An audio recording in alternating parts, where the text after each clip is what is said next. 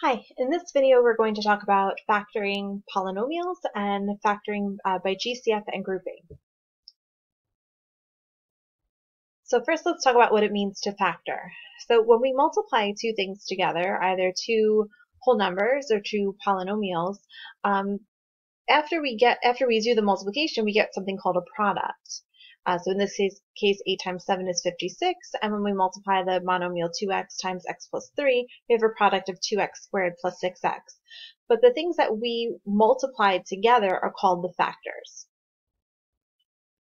Uh, so when we're factoring, we're just reversing the process of multiplication.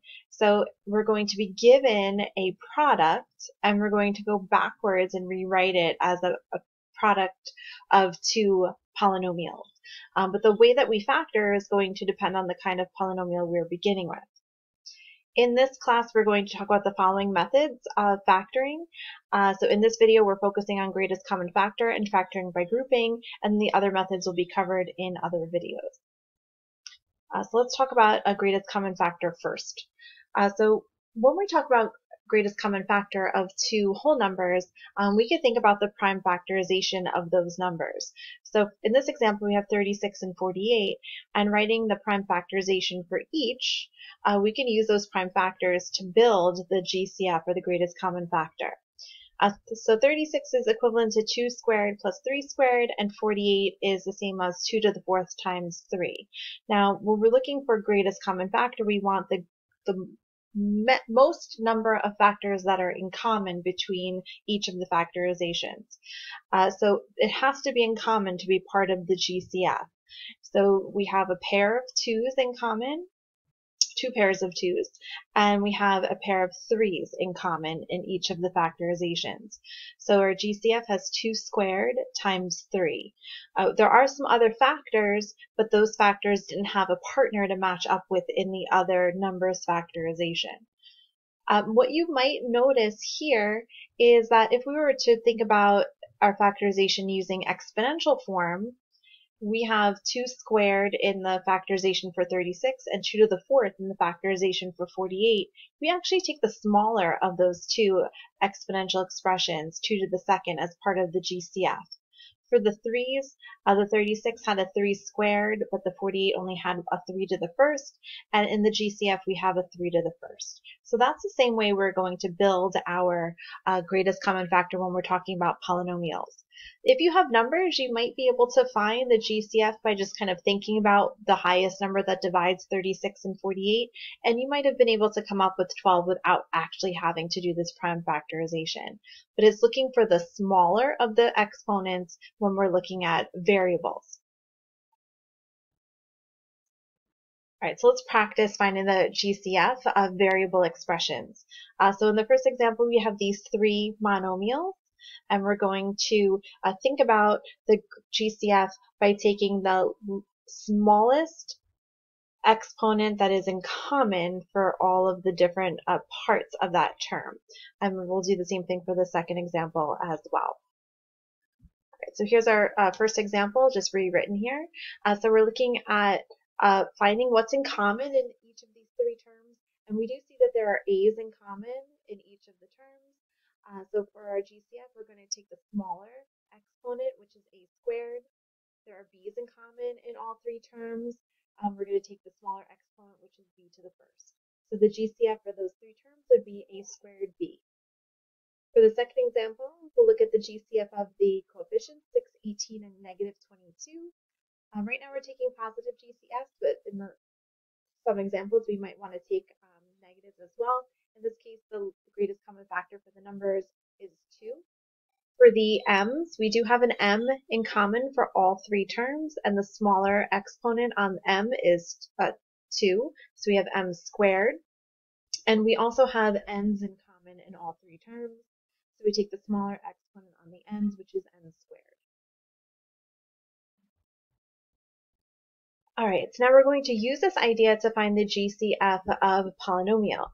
So when we're finding the GCF and factoring by GCF, we want to not only find the GCF, but write the polynomial as a product. So we have to then divide mentally um, the original polynomial by that GCF and then make sure we write a product of the GCF times the quotient. Uh, so we're going to look at uh, these examples here, these five examples.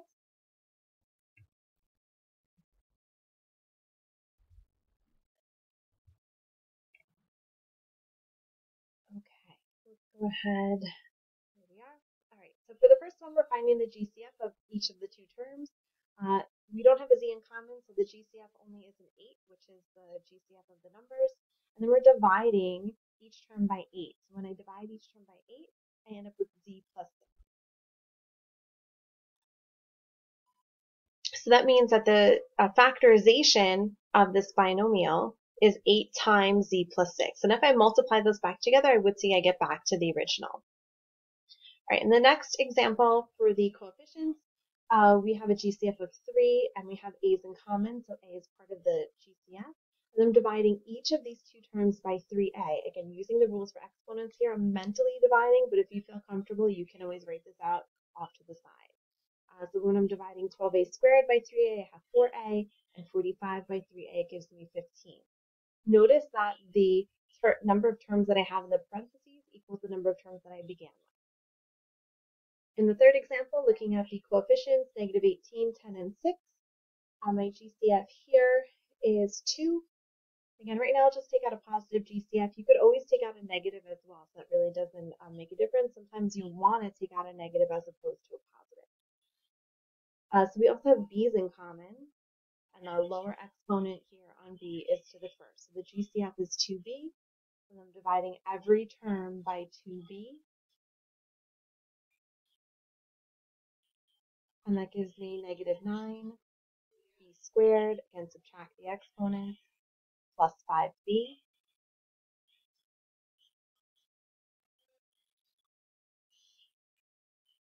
And plus 3. Again, I started with three terms. In the parentheses, I have three terms. Okay, in the fourth example, uh, looking at the coefficients, uh, my GCF is 4. 4 is the largest number that will divide those three coefficients. I have a's in common, so I'll take the lower exponent, which is a, but I do not have b's in common, so there is no b in the GCF. So dividing each term by 4a, it gives me 2a to the third plus 3a squared b to the third. I have nothing to divide the b b to the third by, so it just stays there. And then negative 9, the a's cancel out when I divide, and I'm left with uh, negative 9b to the fourth.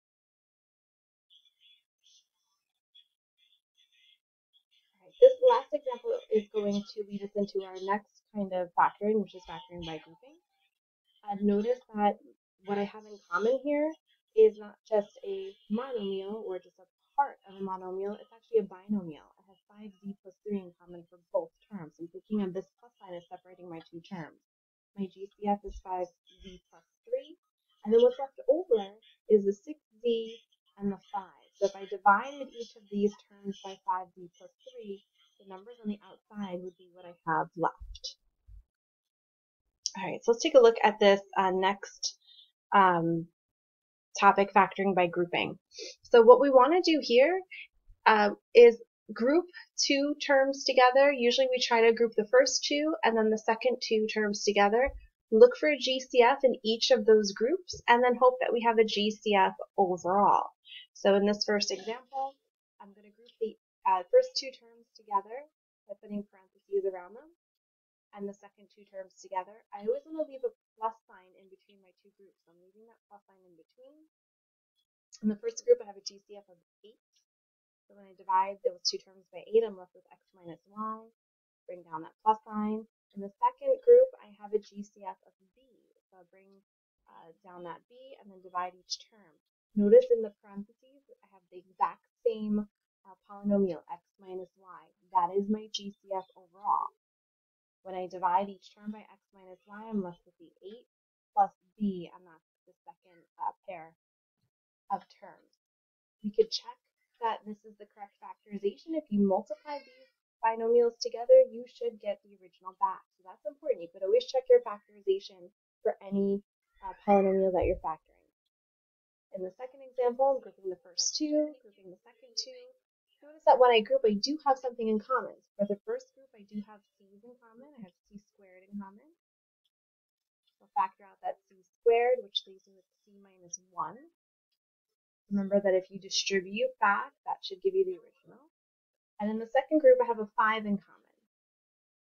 Plus 5 is the GCF, and then divide each term by 5 gives me c minus 1. Now again, it's important that what I have in these binomials is exactly the same. Same term, same sign. That is my GCF, c minus 1. When I divide by c minus 1, I'm left with c squared plus 5. And once again, if we multiply those back together, you should get the original back. Now in this last example, I'm going to group the first two terms. I do have something in common. And now notice that that third term is negative, so I need to group the negative, but I always want to have a plus sign in between my groups. I'm just going to squeeze a little plus sign in there because that does not change the original polynomial. In the first group, my GCF is 2y squared dividing by 2y squared, I'm left with y plus 7. In the second group, I need to make both terms positive because the two terms I have in the parentheses here are positive. So I need to uh, take out a negative GCF here. So I'm going to take out a negative 4y as the GCF as opposed to a positive 4y. The negative 4 changes the signs in the parentheses to positive y plus 7. So notice now the binomials are exactly the same with the exact same sign. That binomial y plus 7 is the GCF. And what's outside of the parentheses is the other binomial, 2y squared minus 4y.